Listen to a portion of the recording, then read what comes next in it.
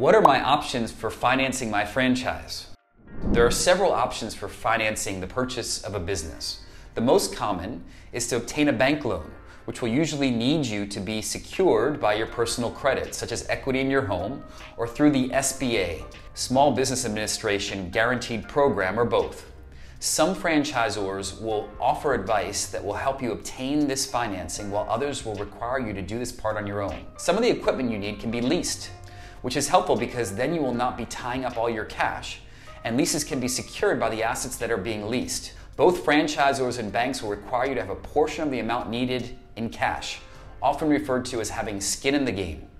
This means that you are risking your own money as well as the bank's money, giving you a stronger reason to make the venture successful. Other ways to finance your franchise can be loans from family and friends by taking on a business partner who has the money required. There are also companies who will assist you in borrowing money from your own IRA or 401k accounts without early withdrawal penalties to finance a franchise business.